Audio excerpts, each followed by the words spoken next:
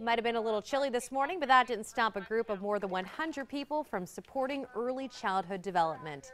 This is video of the 12th annual Easter Seals 5K to make the first five count at Boardman Park. Easter Seals has provided services for people living with disabilities for almost 100 years. The purpose is to not only raise funds for our organization, but to raise community awareness about the importance of the first five years of a child's life. Easter Seals encourages parents to complete the Ages and Stages questionnaire, which serves as a screening tool to help parents monitor their child's development. That questionnaire is free.